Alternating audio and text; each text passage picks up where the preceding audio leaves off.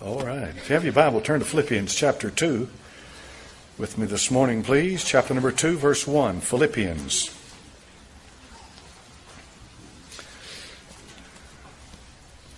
Philippians chapter number 2, verse 1.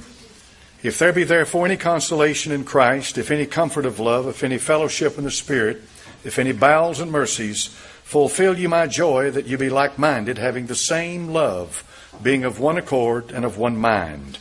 Let nothing be done through strife or vain glory, but in lowliness of mind let each esteem other better than themselves. Look not every man on his own things, but every man also on the things of others. Let this mind be in you, which was also in Christ Jesus, who being in the form of God, thought it not robbery to be equal with God, but made himself of no reputation, and took upon him the form of a servant, and was made in the likeness of men. And being found in fashion as a man, he humbled himself and became obedient unto death, even the death of the cross. Wherefore, God also hath highly exalted him, and given him a name which is above every name, that at the name of Jesus every knee should bow, of things in heaven and things in earth and things under the earth, and that every tongue should confess that Jesus Christ is Lord, to the glory of God the Father. Amen. Amen. Father, anoint this holy word as it goes forth from the mouth of this messenger. In Jesus' name we pray. Amen. You can be seated.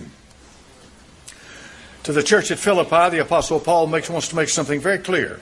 And that is that when Christ Jesus was in this world 2,000 years ago, the God man, I'm talking about the God man, when God was manifest in flesh, that he had a mindset that we all need. And that mindset was humility. He humbled himself under the mighty hand of God. That's not easy to do because we are by nature children of wrath. By nature we're pumped up with pride. By nature we have our own way. We go about our own way. And so therefore the Bible teaches that in order to have power in your life and to be exalted by the Lord, you must first abase yourself and humble yourself. The Apostle Paul pleads for unity in the beginning of this chapter, just as he does in the book of 1 Corinthians, when you have sectarianism in the church, when some said, I'm of Paul, some say, I'm of, I'm of Apollos, I'm Cephas, so forth and so on. Then there, the, there was the sanctimonious crowd who said, I am of Christ. So, you know, we have sectarianism in the church. Not, should not be so. For there's one faith, one Lord, one baptism that should pull us together in the name of the Lord Jesus Christ. And he said in verse number two, Fulfill ye my joy that you be like minded. The only thing the Apostle Paul lived for was his ministry. Paul said, For to me to live is Christ, and to die is gain. His life was about the Lord Jesus Christ. And that's all it was about, and his churches. He said, Let nothing be done through vain glory or strife, but let it each in lowliness of mind esteem other better than themselves. This is not easy to attain. And it comes through a lifetime of yielding yourself into the hand of God. And it comes because you learn something. The scripture says, tribulation worketh, worketh patience, and patience experience, and experience hope. When you've lived a while and you've lost some loved ones and you've suffered on this world, hopefully that'll teach you the lessons that you need to understand how weak and transparent and passing we are.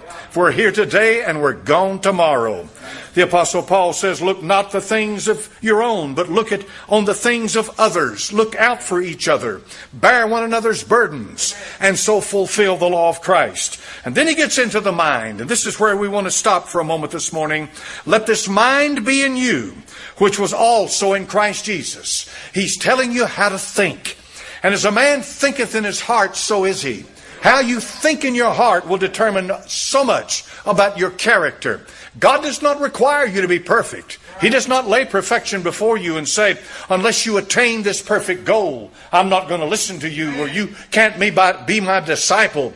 My friend, let me tell you something. There's a lot of well-meaning people out here preaching to people that you can live a sinless, perfect life. They, that's dead wrong. Far, far from the truth. If a man says he has no sin, he says he deceives himself. First John chapter number one. But he said, let this mind be in you, who being in the form of God, this is a strong term. It says the Lord Jesus Christ was the very essence of God in visible form. That's what he's saying. All the Old Testament saints, everything they ever saw, they ever touched, ever knew about God was the Lord Jesus Christ before he was incarnate 2,000 years ago. We call them theophanies, or to be more specific, Christophanies. They're appearances of Christ, which was the appearance of God in the Old Testament. In plainer words, that eternal, absolute spirit being that is invisible, the Bible teaches, no one has ever seen. And I personally believe, you don't have to agree with me, but I believe after studying this Bible for a few years, nothing has ever seen the Almighty. That includes the angels, the cherubim, the seraphim, all of them. Nothing has seen God the Father but God the Son. He's the only one that can take you to the Father. Therefore, in this world, when you take the Son, believe on the Son, receive the Son, He'll begin to take you to the Father. And thanks be unto God for that. For the scripture here is teaching then the absolute deity of the Lord Jesus Christ. He is God Almighty and nothing short and nothing less of that who being in the form of God thought it not robbery to be equal with God. Notice the wording very carefully. The Lord Jesus Christ did not think it was something that he would reach up and take hold of and claim to be his own. That's what that means. Didn't have to do it because he already was. So in verse number six, who being in the form of God, thought it not robbery to be equal with God, but made himself of no reputation in other words, he didn't come and announce himself to the world that I'm the second person of the Trinity, fall before me because of who I am. No. His life was lived in absolute obedience to the Father, and those that fell before him were led to him by the Holy Spirit of God. That's important. He did not demand worship from anybody. Those who, by the power of the Holy Ghost, had revelation given to them as to who Christ was, fell on their face and worshiped Him. So it is today. Same thing. If you love our Lord Jesus Christ, fall on your face and worship Him, acknowledge Him as your Lord, your Savior, and your God, the Holy Ghost is doing that in you and not yourself. But the Bible said in verse 7, Note carefully, this is important. Being found in fashion as a man, he humbled himself and became obedient unto death, even the death of the cross. The Romans used the crucifixion as a means of terror. It was terrorism 2,000 years ago. And when they crucified someone, they crucified them right by the roadside, not in the back, but right by the road where people would have to walk by and see that person struggling, suffering, and dying. And then after they died, they left them hanging on that cross so that they could come by and see the mortification as it took place in their mortal body and they could witness the horror and the power of Rome. The Bible said God chose according to Philippians 2, for his son to die on the cross. He was obedient even to the death of the cross. Now, I don't know how to say to you this morning, the most wonderful thing that you'll ever hear from God is that God could have made you a perfect being in the beginning.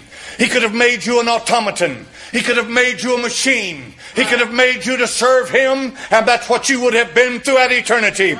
And at the least whim of God, you would have answered immediately. But no, God chose to make you a man. And when He made you a man, He gave you a will.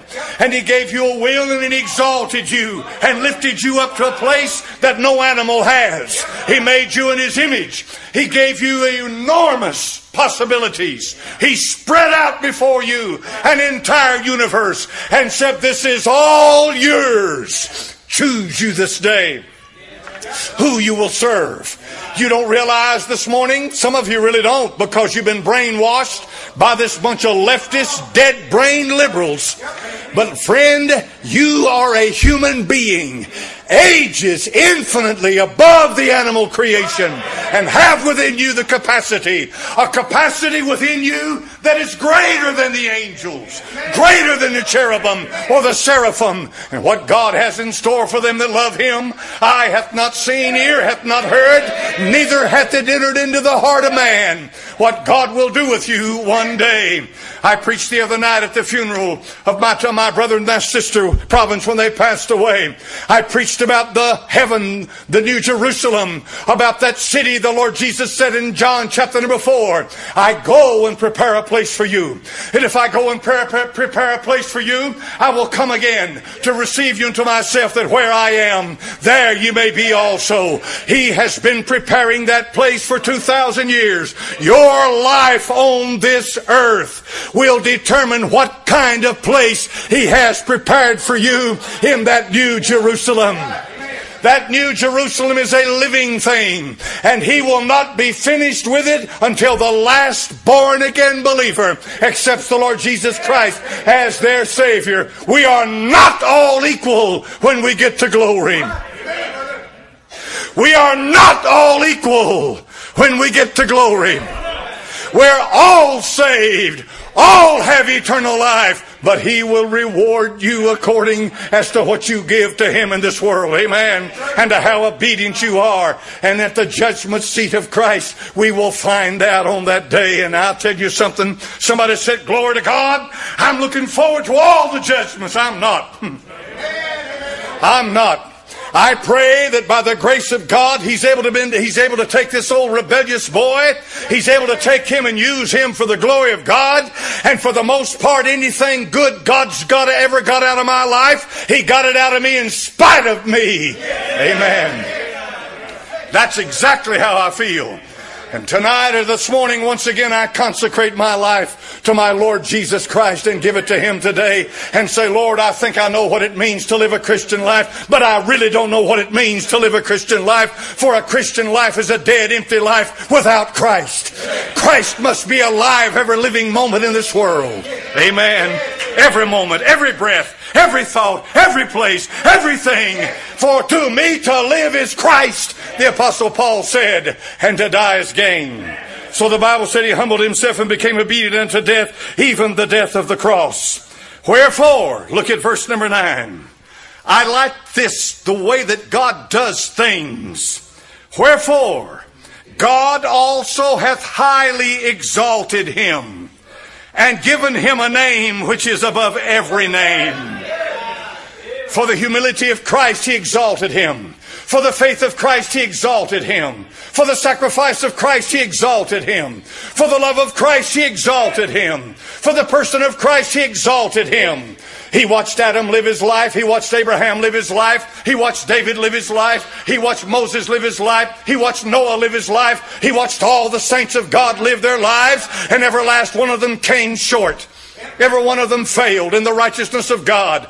But this one came into this world 2,000 years ago. He was born a man just like you're born a man. He was born of a virgin. And for 33 and a half years, he lived a sinless, perfect life being tempted at all points like as we are, yet without sin. When he saw him, he said, This is my beloved Son in whom I am well pleased. God the Father was well pleased in his Son. So this is why he says in verse 9, Wherefore God also hath highly exalted him and given him a name which is above every name. Now let me give you the contrast to that. In the book of First Kings, chapter number 1 and verse number 5, as David lay a dying as an old man, it was time for him to leave this world. He had children by many different wives. David had a woman problem. It was compounded a hundredfold by his son Solomon who had a much greater woman problem 700 wives, 300 concubines. And when it came time for David to come down to the end of the way, there was conflict in his home because of all of his wives and concubines. He had one wife whose name was Haggith. She had a son, his name was Adonijah. Adonijah's father was David. David was the king. Adonijah thought, well, since David is the king, I'm the son of the king, I've got a right to the throne. So in 1 Kings chapter number 1 and verse number 5, then Adonijah the son of Haggith exalted himself, saying, I will be king, and be prepared, and he prepared him chariots and horsemen, and fifty men to run before them. He made a grand entrance. My goodness gracious. 50 men to run through the town pronouncing, pronouncing Adonijah as the new king of Israel once David has passed on. But there's a problem here. And the problem is that that's not the Davidic line. That's not the line of prophecy. And he's not the son of Bathsheba. And God had already promised that the son of Bathsheba would be the one to be the next king of Israel. And the son of Bathsheba was Solomon. Solomon would be the next king. God had already ordained and established that. Yet Adonijah took it upon himself to exalt himself and go through the streets of Jerusalem and proclaim that he is king. The Bible said, He that exalteth himself shall be abased. You cannot exalt yourself. You cannot push yourself into the ministry. You cannot make things happen for yourself. My friend, you cannot do it it. You cannot drive sheep. You must lead them. But the problem is that some folks are so stubborn and hard headed that they think that they can go against what God's Word says and force things to happen, and it will not happen. For you can force goats, but you can't force sheep. Sheep will not be driven, sheep must be led. I remember one time in the Holy Land I heard a bell. We were in Galilee. We were next to the Sea of Galilee. There's a church over there at Capernaum. It's a beautiful place. We were right next to that, and I heard a bell, and I looked around, and here was a flock of sheep. I mean, as far as the eye could see. And I looked for the shepherd. I shouldn't have had to look for him. He was right in the front. Amen. That shepherd was walking in front of those sheep, and those sheep were following him right down the line. It didn't matter which direction he went, it didn't matter where he turned, what he did. The sheep followed him exactly the way the Bible said. The Bible said, My sheep know my voice, and a stranger they'll not hear. Amen that God gave you the Holy Ghost. And if you are a born again believer, you're part of God's flock. And you will find the man of God and you will follow the Word of God. Amen for that. Hallelujah to God. Our problem is today we got so many charlatans and so many fly by nighters, so much confusion, so much garbage. I was telling the Sunday school class this morning, those of you that are in here this morning in Sunday school, you know what I'm talking about. April the 23rd, they've got picked, picked out as another date for the rapture. April the 23rd, eight days from now. They'll never stop setting dates. So what do you do the 24th of April, preacher? The 24th of April, he ought to call a news conference, get on his knees, and confess his sin where he's in rebellion to God, and confess to the whole world, I'm a fool. I made a fool out of myself. I went against what God's word said. I picked a date. God said, don't do it, and I did it anyway. In other words, repent and get right with God. I've never seen one of them to do that yet. But they sold their books, they sold their tapes, they made their money. How many of you bought their books and their tapes? I went through my I went through my books here not too long ago. When I was young, I bought up more garbage than you can imagine. Willingly I did. I spent a pile of money. It took me a while to get through this maze, folks. I've learned a lot of things down through the years. I picked up arms full of books about prophecy, arms full of tapes. I carried them to the garbage can and I threw them away. Just threw them all away. Why? Junk. Had one that said 88 reasons why Christ will come in 88. Well, he didn't come in 88. I'm not kidding you. I bought it though. Because I was young, I was green, I was inexperienced, I was hungry, I was learning, and I thought they knew what they were talking about. They don't. Don't waste your time with somebody picking a date for the second coming of Christ. It's a waste of time. But yeah, some folks have to learn the hard way. Amen. Amen. But notice carefully, Adonijah exalted himself. So the Bible says in chapter number two of Philippians, being found in fashion as a man, he humbled himself and became obedient unto death, even the death of the cross. Wherefore God also hath highly exalted him and given him a name which is above every name. Our Lord Jesus Christ went down into the sorrows of death. He says in the book of Jonah, he went down into the gates of death. He said the seaweed wrapped itself around him and he was there in the heart of the earth. In the book of Hebrews chapter number five, in this, this self humiliation, this humbling of himself before God. Our Lord Jesus Christ, chapter 5 of Hebrews, in verse 7 days of his flesh, he offered up prayers and supplications with strong crying and tears unto him that was able to save him from death and was heard in that he feared. And though he were a son, yet learned he obedience by the things which he suffered. And being made perfect, he became the author of eternal salvation to all them that believe. I'm so glad that the one that saves my soul knows everything there is to know about a human being. For he lived where I live. Amen. That's what he's talking about in Hebrews 5. And it says this, though he were a son, yet learned he obedience by the things which he suffered. Note carefully what he said in Philippians.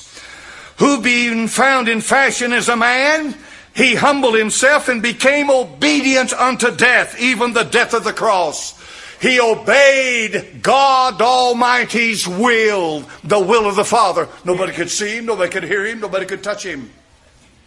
The Lord Jesus Christ, when he was in the Garden of Gethsemane, the Bible said angels came and ministered to him. You remember reading that? He went through all of this. He went through every bit of it, and yet nobody could see the one that was strengthening and guiding and leading the Son of God. Did you know there are those out there that are teaching people that the Lord Jesus Christ went into hell? That he went down into the fires of hell? And it was there in the fires of hell that he suffered? And that suffering in the fires of hell was payment for your sins? Listen to me. That suffering in the fires of hell was the payment for your sins. And that while there he cried out to God and God heard him and God raised him up from that. And when he raised him up from it, he was reborn. That's when he was born again. When he was raised up from the fires of hell. And then God exalted him to his right hand. So they're teaching people that when he went down into hell, that suffering in hell and burning in the flames was part of your atonement. And let me tell you something, folks, and I want to be clear as I know how. There is no worse blasphemy on this earth than to teach that the atonement comes from anything but the blood of Christ. His blood shed at the cross at Calvary is what washes your sins away. Not by, his, by our, by the blood of bulls and goats, but by His own blood. He entered in one time into the presence of God to obtain eternal redemption.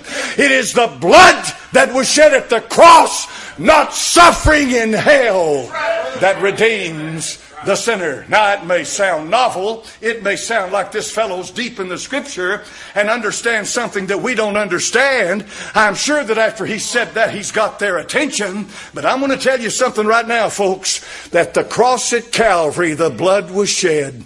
And when his soul descended down into paradise, had two sides. He went to Abraham's bosom.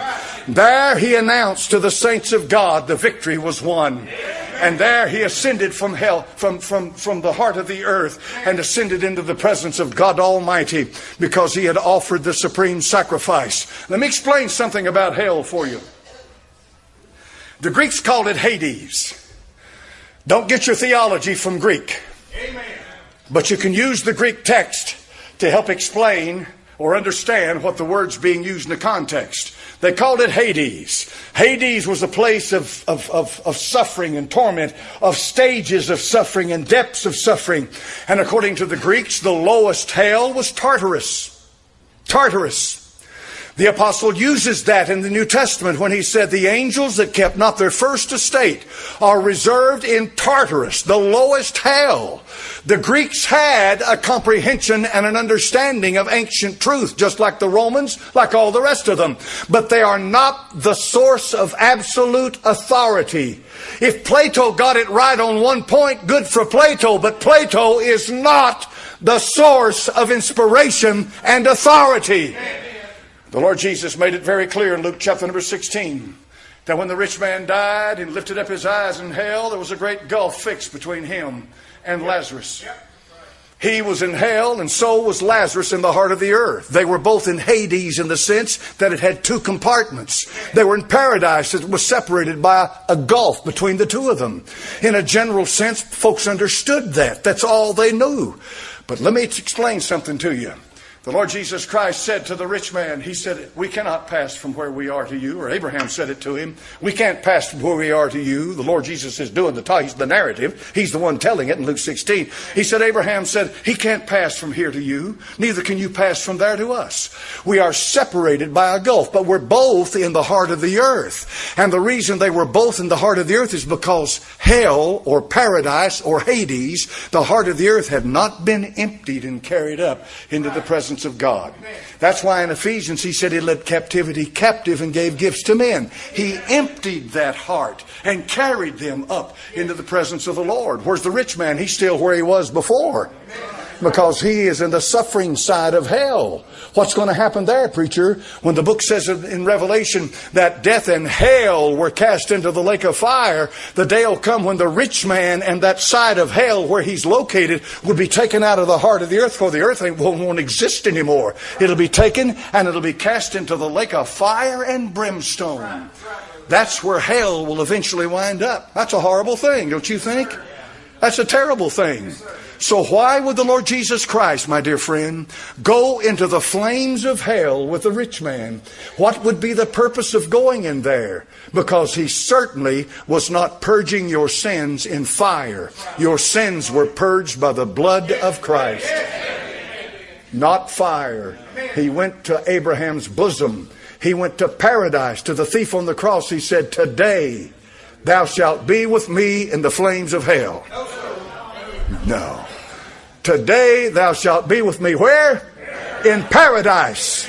Exactly. That's where he went. So this garbage of teaching that the atonement, part of the atonement was made in hell is garbage. And folks, I have a problem with somebody believing they're born again that'll take the work of Christ at the cross and start teaching and preaching that junk to men and women. No, sir, folks.